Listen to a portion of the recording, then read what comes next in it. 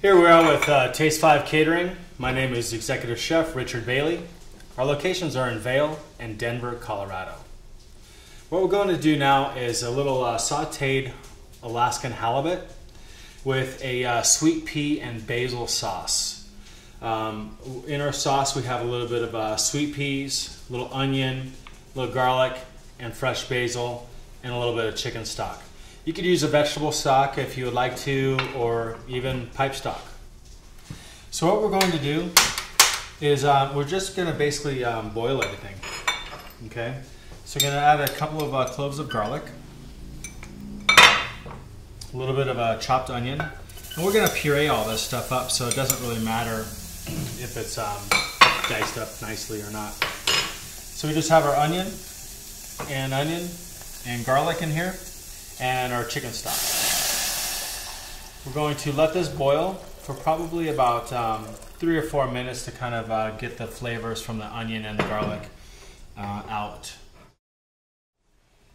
Okay, so now that our uh, chicken stock is boiling, we're going to go ahead and add our uh, fresh peas to it.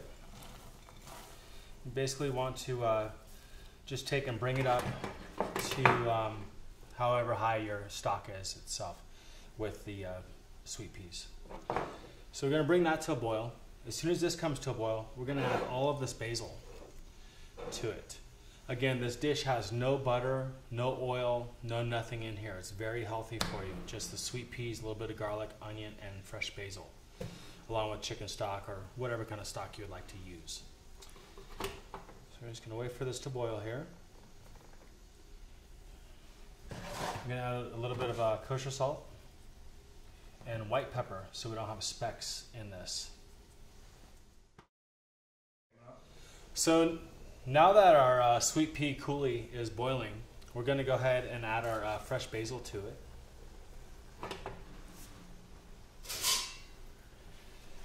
Push that down. And as soon as this comes back up to a boil, we're going to be able to uh, go ahead and blend this up. If you would like to add a little bit of fresh butter to this, you can. If you are um, doing the paleo diet, you could add a little bit of um, fresh coconut butter to it um, if you are looking for that kind of a flavor. But it's just perfect the way it is right now without any kind of uh, butters or oils though. Okay, so once this is boiled, you can go ahead and uh, just go ahead and take and put this pot into the uh, mixer, the blender.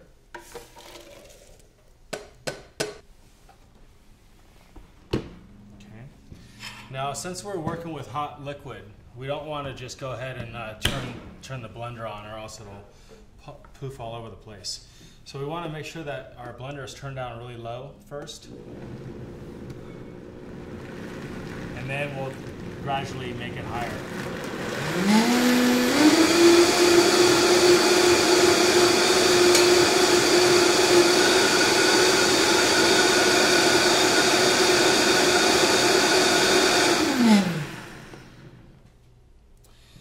Can keep this sauce inside the refrigerator for about four, four, or five days, I would say, covered in your refrigerator the whole time. And then when you go to uh, use it, just kind of heat it up again and uh, plate it the way we're going to plate it up here pretty soon.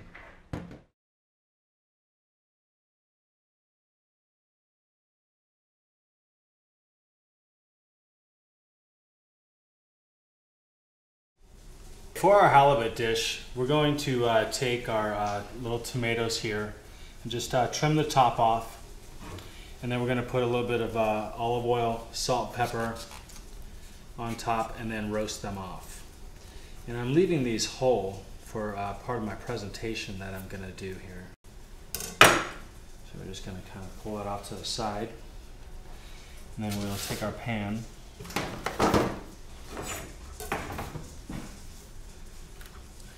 Hit a little with a little extra virgin olive oil.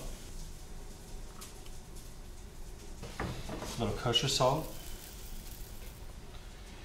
And white pepper. We're also going to do a little bit of uh, fresh ground black pepper. And then pop that into the oven, 350 for about 10, 10 minutes.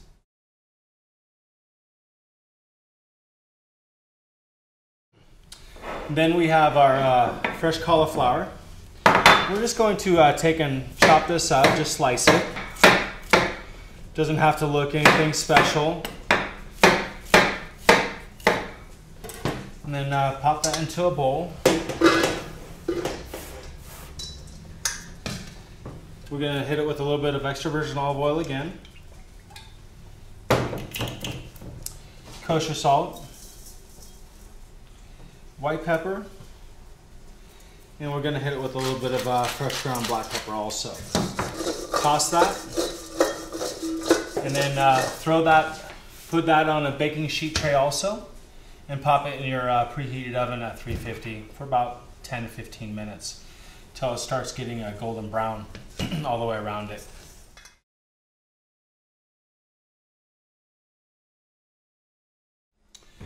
Okay, so now we're going to go ahead and uh, clean our halibut um, for our sauteed halibut dish here with the uh, sweet pea coulis. Again, we're going to just take a little piece at the end so there's something to hold on to as we're taking off the skin. Okay. And then there's a little uh, there's a little line over here, little fat line that we're going to take off.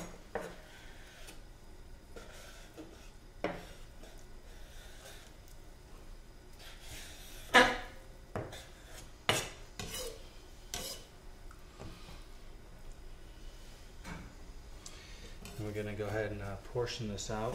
I'm looking for a nice square piece to be able to portion that.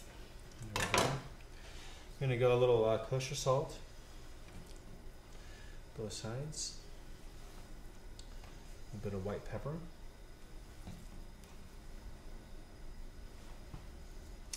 And we're heating up our uh, saute pan right here. It's pretty hot. I'm going to add a little bit of oil to it.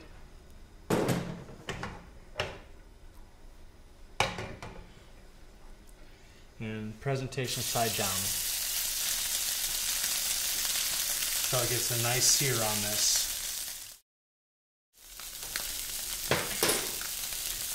Okay, so once we have our sauce pureed, I'm to go ahead and uh, go ahead and put a little bit right down.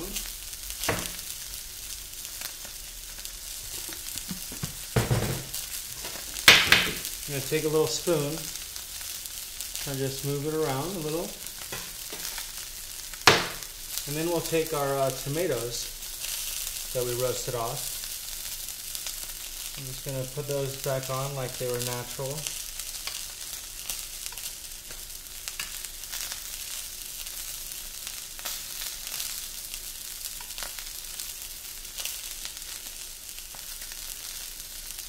Place that back on.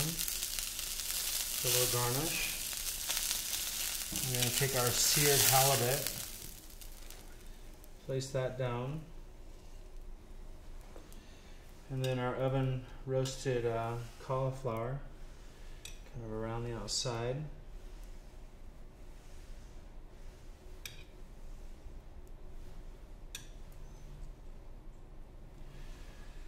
Very nice, light, summery dish. And that's our uh, sauteed halibut with uh, roasted cauliflower and roasted tomatoes with the sweet pea and basil coulis.